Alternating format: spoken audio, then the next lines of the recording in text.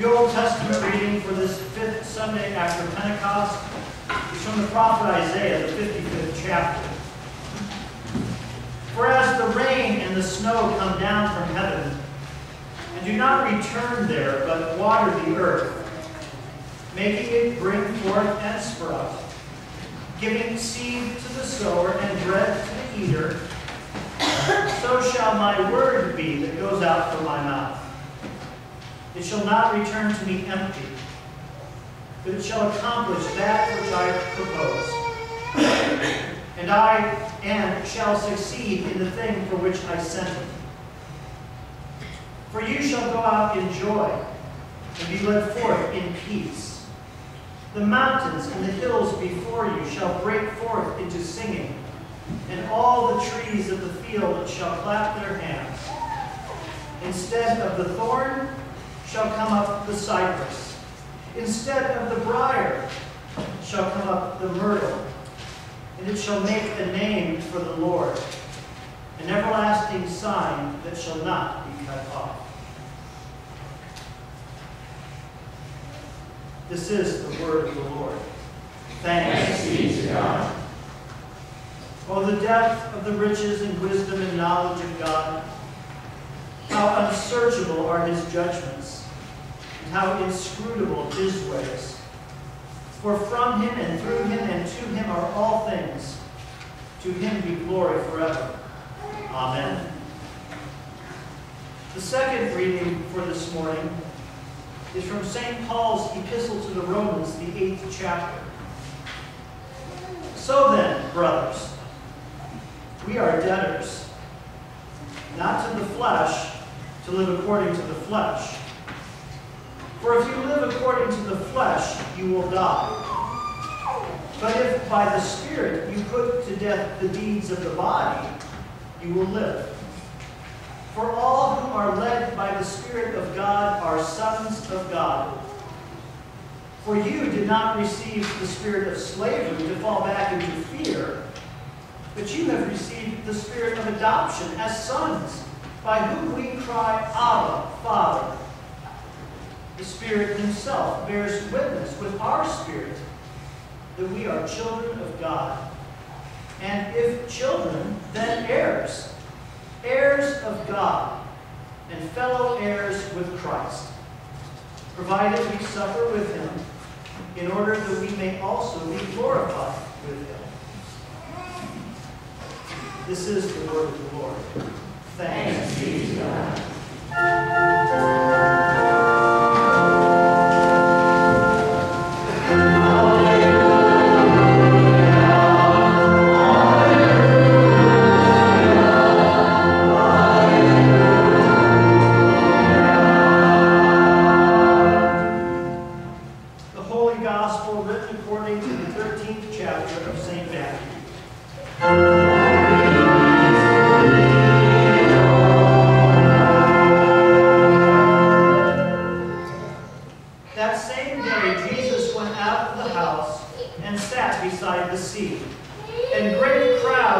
gathered about him.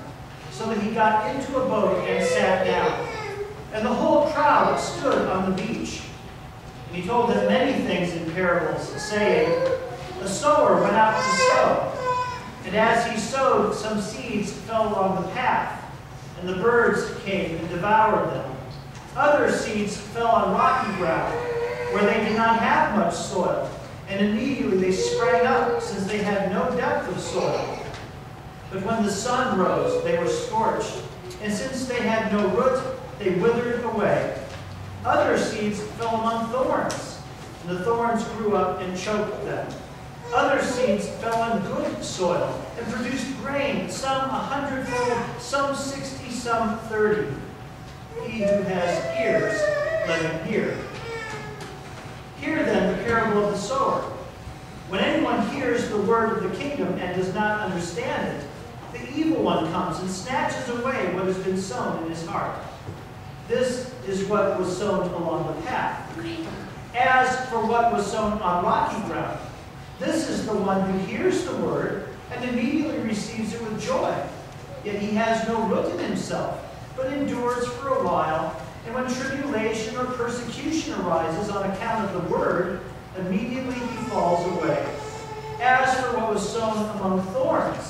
this is the one who hears the word, but the cares of the world and the deceitfulness of riches choke the word, and it proves unfruitful. As for what was sown on good soil, this is the one who hears the word and understands it.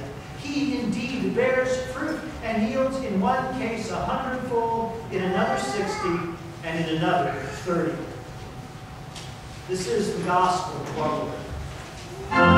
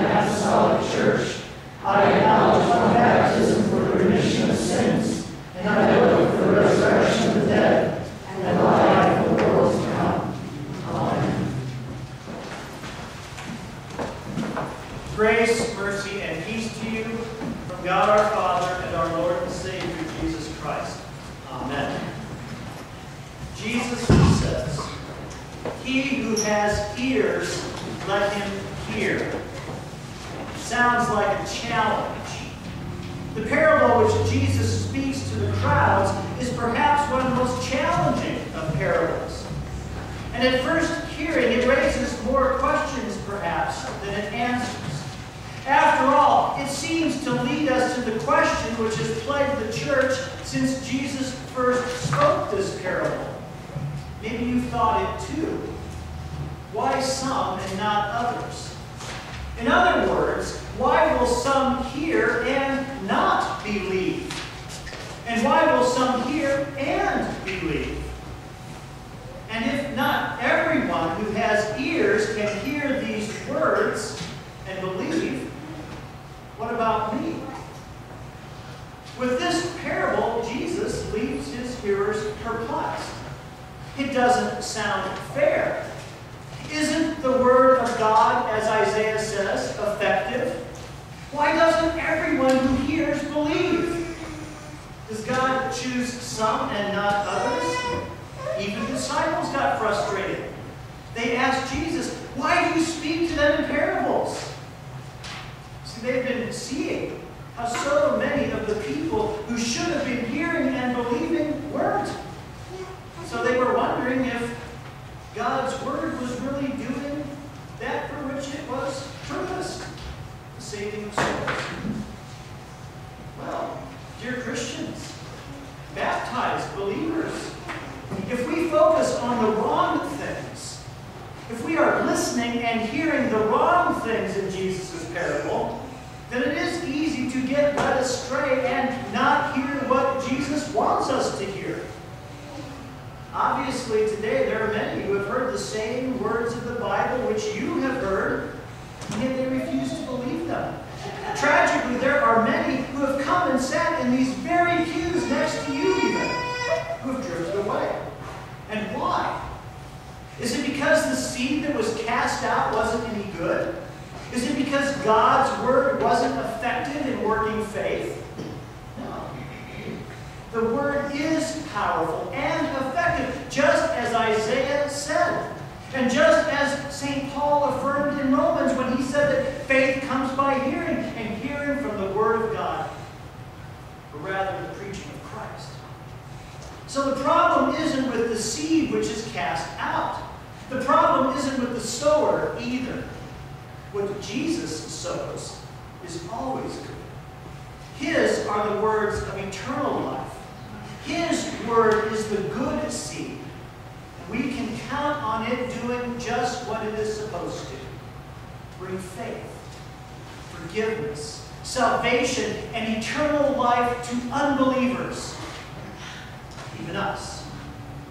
And yet, not all will believe, and that's where the tension comes in. And our Lord, quoting and yet speaking through the prophet Isaiah, tells us that there will be people who hear but never understand and who see but never perceive because their hearts have grown dull and they have closed their eyes lest they should see. You see, if someone hears and doesn't believe, it's because they refuse to listen. Our Lord's words do not sound enticing enough to awaken their dull hearts. Think about this. Why do people stay away from hearing God's word? Why do they stay away from church on Sunday morning or Bible study during the week? Obviously, there are many reasons. For example, our Lord tells of people who had to go work in the field and bury their dead and say goodbye to their old way of life rather than drop everything and follow Him. We're tempted to do the same. You see, this is exactly what Jesus means in the parable, describing how the devil and the cares of this world will snatch away the word. Don't forget, the devil can fill our heads with any number of reasonable sounding excuses. He doesn't want the seed of God's word to take root in you or your children. He doesn't want you here to hear the words of eternal life. Your old evil foe, he knows that it is the gospel alone which brings you life. Rather, he wants you to stay away from God's word and convince you that it is boring or impossible to understand. He wants to snatch the word of the gospel away from you so that it doesn't have a chance to take root in your hearts. He wants to snatch away the joy of your salvation in Christ Jesus as well. So that rather than being comforted by the gospel, you would despair and look to yourselves rather than to Christ. So here are Lord's words. Open your ears. Is your spirit feeling trampled down like a pack, sinned upon, hurt, harmed by those who would snatch God's word away from you? If so, then take our Lord's words to heart. Repent and take heart in the joy of your Lord's forgiveness and his never-ending love. Is your faith shallow? Have the cares, suffering, and fears of this world overshadowed and choked out the promises of God which you received in holy baptism, and you continue to receive through the hearing of His word, because the evil one and even your own flesh has convinced you to be too concerned with trivial surface things, things that feel good, bubbly, and trite in your life? Hear our Lord's words. Shallow faith will not survive the burdens of the cross that this life places upon you. Shallow faith will die. So repent. Open your ears and take advantage of every opportunity God has given you to study, grow, and mature in His Word. That's what it's here for, for your sakes. Have a superficial faith, one that just skims the surface is to let the seed of God's word remain on the surface. But we want those roots to go deep. Plants with deep roots will not be easily uprooted. Same thing with your faith. Without God's word deeply rooted in you, the things of this world will drive you to despair and ultimately even unbelief and eternal damnation. Finally, our Lord describes is perhaps the most dangerous of all for us Christians. Not just the worries of this life, but the heart's true desire to be set at ease through its own efforts successful and happy and surrounded by the comforts of this world, rather than endure the suffering that this world produces, the persecution that this world will bring to those who stand firm on the name of Christ. If these things are causing you to doubt, if you are struggling against the flesh, then repent, but also rejoice for the seed that the Lord into you will bear fruit. It is good seed, just as our Lord says, and He has prepared the soil of your hearts to receive it. That's His doing. See, the ways of man always seem right, but they lead to death.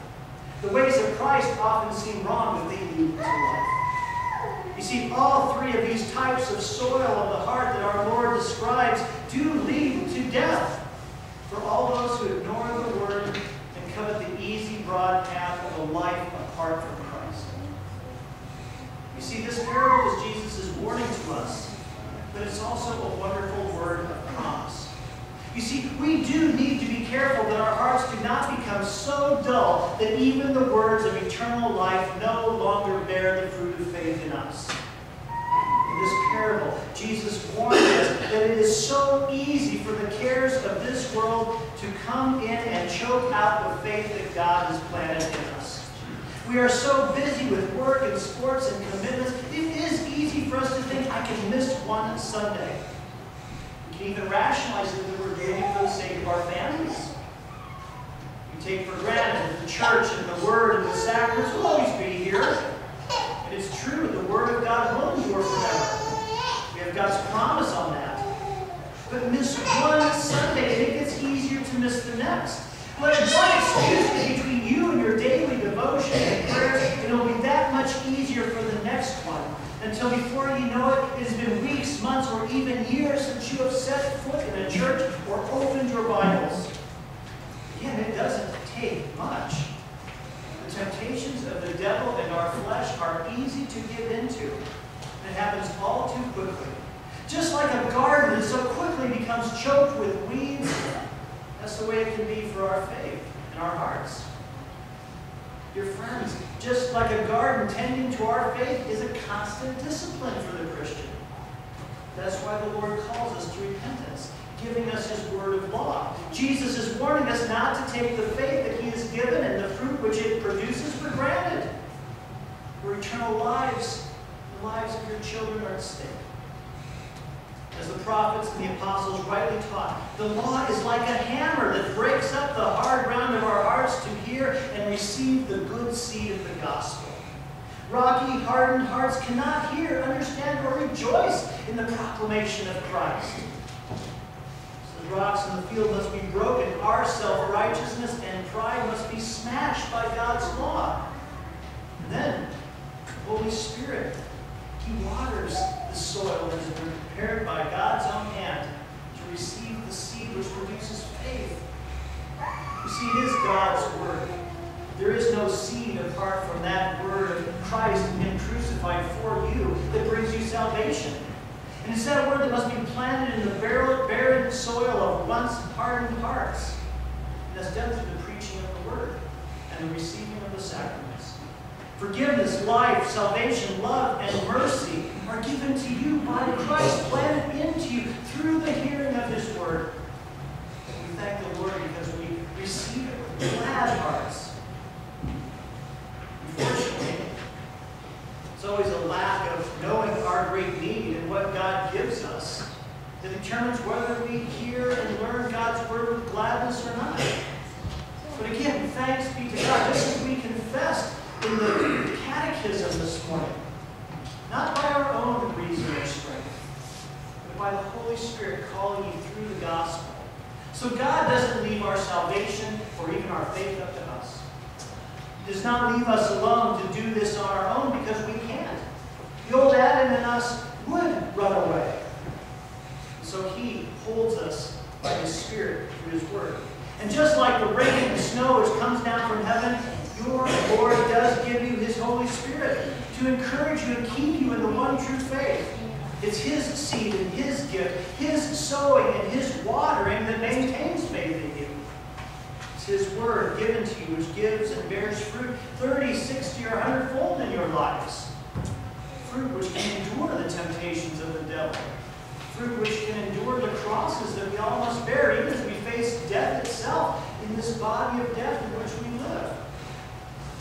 Dear Lord, He continues to care for you as you hear His word. It's His tender mercy through the means of grace, through His effective, life giving words of forgiveness and salvation bringing sacraments that keeps you in the faith. Consider these words of Isaiah as well.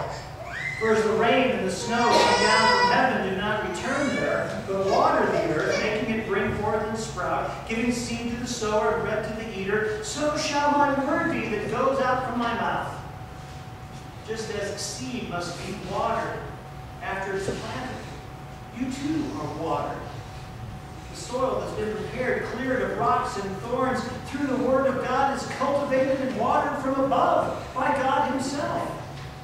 Because you too have been rained on from above by the Holy Spirit with the waters of holy baptism. Water and the Word. That's what nurtures your faith. What keeps you in the faith. What washes away your sins and breaks up the rocky heart. Jesus tells all who believe that to you it's been given to know the secret of the kingdom of heaven. The very fact that any of us believe is reason enough to give thanks to God for the precious gift of His Word. And so going back to the beginning of the sermon, the real question isn't why some and not others. The real question we need to be asking ourselves is this Why me, Lord? What have I done to deserve such a precious gift? Why would you plant seeds of faith in me when I've sinned against you so many times and my heart has been rocky and cold as stone? Why would you continue to water my sin-dulled heart and open my eyes and ears to hear and receive your word with gladness? And why? Not because of anything in us, but purely because of God's love for you and His mercy. You see, this is the very heart of the gospel. We deserve nothing from God, and yet we get everything. In exchange for our sin, we get God's righteousness. And in exchange for the death that we deserve, we get eternal life. And why? All because the Word has been cast upon you. Seeds of faith growing up in you from that very same Word, watered by the sacrament, by the Spirit. But a blessed thing to know that this comforting seed of God's Word, sowed by the Apostle Paul, declares Spirit Himself bears witness with our spirit that we're children of God. And if children, then heirs, heirs of God and fellow heirs with Christ, provided we suffer with Him in order that we may be glorified with Him. Remember that in baptism, you have been crucified with Christ. And when you remain with His Word, you remain with Him. As you suffer, He strengthens you. Sometimes that suffering is temptation, sometimes it's doubt. But again, we cling to the Word, the cross, and the promises of God. And we thank the Lord. But again, He saves us not because He is good, but because He is merciful. You see, your Savior makes no distinction. He casts the seed where and when He will. And He favors no one above the other. He who redeemed the whole world with His blood, purchased and won each and every part with His death and with His resurrection. And He would save all men. He saves you. He gives you His promises and even sustains you in faith. And casting His words your way, He does show you His love and mercy with a word that will not change or grow stale. He gives you His forgiveness, which is just as sure and certain as the very word on which we stand. He raises up faith in you, which leads you to eternal life in Him. That's the seed at work in you. God-given faith, God-given forgiveness, God-given life. In Jesus' name. May the peace of God, which passes all understanding, guard your hearts and minds in Christ Jesus. You have been watching the divine service at Holy Cross Lutheran Church, Carlisle, Iowa. Join us this coming Sunday at the divine service, which begins at 9 a.m. Our divine service is followed by adult Bible study and Sunday school at 10:30. You're also invited to join us for Vespers and catechesis for the entire family on Wednesday evenings beginning at 6:30 p.m. We also gather for the morning prayer service of Matins on Thursday mornings at 9:30 a.m. Holy Cross is a member of the Lutheran Church Missouri Synod and is located at 1100 Market Street, Carlisle, Iowa.